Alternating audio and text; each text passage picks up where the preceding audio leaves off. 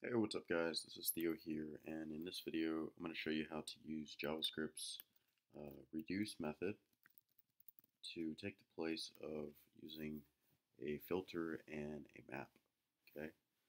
And I'm going to show you that this is actually faster, and I got this off of an Egghead video, uh, or just not this exact example, but just demonstrating that it's faster. So I'm going to create a numbers array, and we're just going to fill this with 1, 2, 3, 4, 5 right? And um, so with the filter and map approach, what I can do is I can say var result is equal to numbers.filter, say function number, and here we'll just return number is greater than uh, 2. And then what we want to do now is do map. We want to map across the numbers, and we just want to return number times 2 right? And here we're going to log out this result. And we get 6810. Uh, what I want to do actually is uh, do this console.time. And we'll do, uh, uh, let's see, let's just do filter map. And then we could do console.time end filter map. And we can look at uh, what we're getting here If did I do it wrong? Console dot time start. Uh, maybe I can't do it in here actually. Console dot time filter map, and we do. Let me take that off. There we go. I think that'll work, but let me see. What am I missing now? Okay, so this is filter map, but I don't think this has look real quick. Let's see.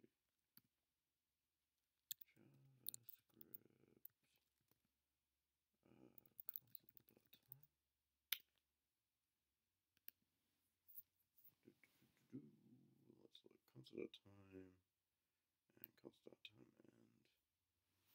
Okay, let me actually just do it here in the browser and see if I can get that to work instead. So same sort of deal. We're going to have a console.time. We're going to do filter map, and then we're going to have, or actually, sorry, we'll create a function, right?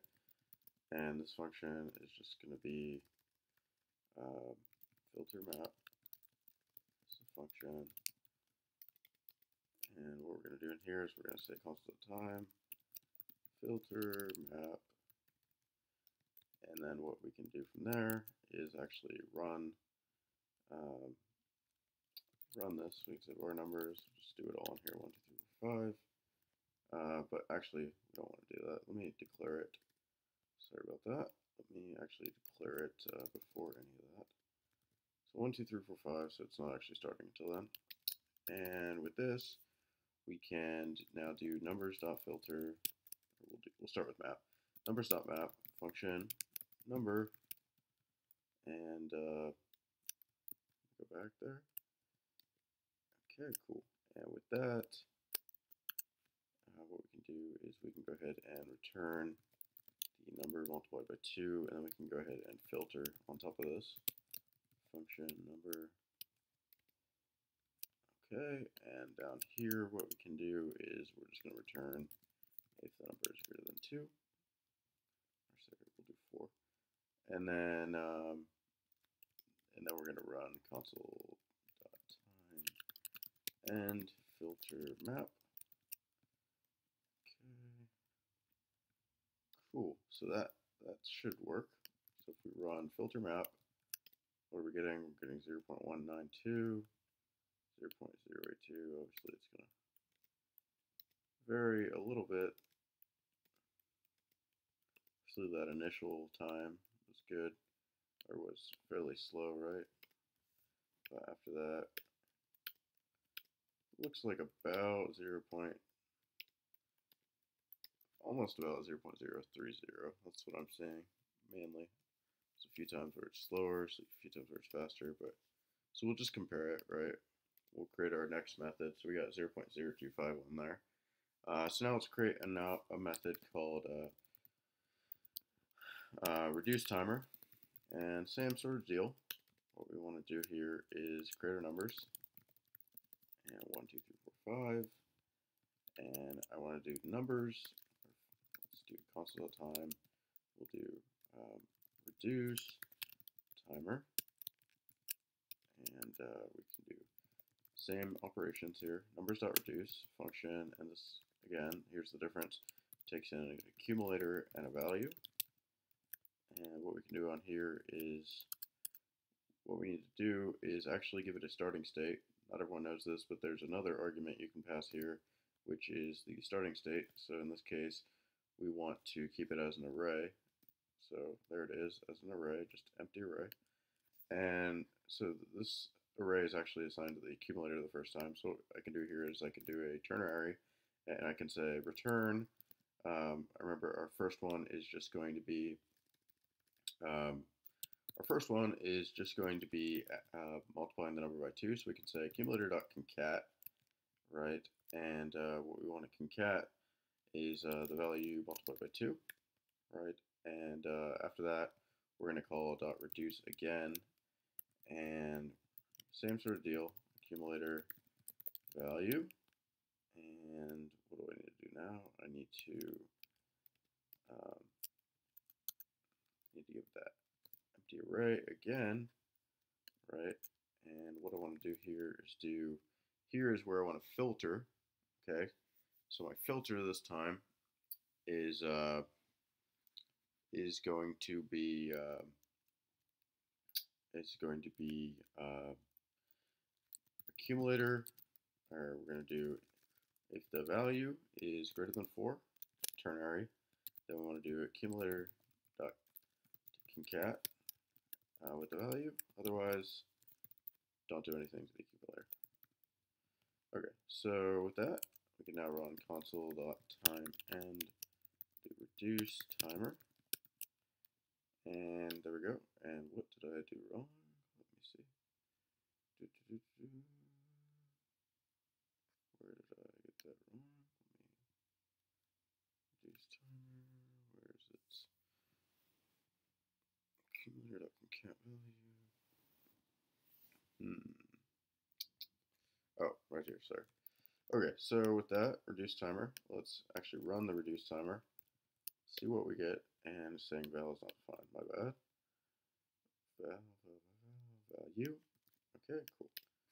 Alright, so with that, there we go, reduce timer is 0 0.140, if we run it again, 0 0.072 and run it three times. So we'll actually run them 10 times each and see what we get. So 0 0.03, 0 0.29, 4, okay. And okay, so 1, 2, 3, 4, 5, 6, 7, 8, 9, 10. Okay, those are 10 results right there. And what I can actually do here is bring up the console in this other window right here. And what I want to do is uh, is uh, grab these methods again. So let me grab this, bring this over here, reduce timer, and then um, the other one, of course, is so I can get back to that filter map. Okay, so we got reduced timer, and that's good. So let's look at uh, let's look at how it compares with filter map. Okay, so let's run filter map. Let's keep running it. Three, four, five, six, seven, eight, nine, ten. Okay, cool. So let's see how they stack up. So the first time, uh, reduce timer is already faster at um, this is like three times faster already. Uh, actually, almost four times faster. Uh, filter gets better every time. Still faster. This is maintaining a lot greater consistency, I'd say. Still faster. 0.22. Uh, it beats it. So it beats it 0.22, 26, and let's compare. So uh, reduce timer beats the first time, beats it the second time. Um, and then what it's doing is it's beating it the third time as well. Okay, and also beating it the fourth time. All right. Okay, fifth time filter wins. All right, um, sixth time filter wins. Uh, seventh time filter wins. Uh, eighth time reduce map wins. Ninth time reduce map wins, and tenth time uh, filter wins. Right, so you have about uh, six to four right there on reduce timer. Uh, actually, this isn't the most ideal. I'm pretty sure I could do all of that logic in one reduce, but really the reason why this is a faster operation using reduce than with filter is because when you're using um, filter and map, uh, although they are functional, you're still going over the whole array, whereas when you're using reduce, uh, you're basically just getting a slice. And I could have just done it all in one reduce, right? Um, so maybe a better example real quick uh, that I'll show you guys is, um, let's look at this. One more for us to look at. Just um, a simple filter, right? And this is just a function. And what we're going to do here is numbers, one, two, three, right? And uh, constant time, simple filter. Okay, so simple filter, grab that. Okay, and then what we could do is we can just do number dot filter function number, and I just want to say return number is greater than two, right? So we should just get one number back, and then we can do console dot time end. We'll do simple filter. Okay. So that's simple filter and let me grab this and we will just change this out to work with reduce filter. And let's just say reduce, reduce, and here instead we'll say numbers of reduce function accumulator and value and we will say uh, return uh, value is greater than uh, what, what do we say for let me actually look at this again. Okay, simple filter. Greater than 2. Okay, cool. So value is greater than 2, and then we, in that case, we want to uh, concat the value, and let me give this that initial value of the array. Otherwise, uh, we just want to keep the accumulator. So we got reduce filter and simple filter. Let's run reduce filter first. Okay, and let's run simple filter. Okay, so simple filter um, actually beats it this time because we're not working on a large data set. And it's just filtering off of one thing. Um, but let's run them again. Simple filter and reduce filter. So they're close. Uh, simple filter, reduce filter, they're about the same. But what happens is once we start chaining on, you know, the map, you're looping over that or you're iterating over that whole array again whereas reduce again you're just getting that slice and it's working off of that so uh, I thought you guys would enjoy this video um, if you did make sure to like comment and subscribe and thanks for watching guys uh, see you in the next video so take care have a great day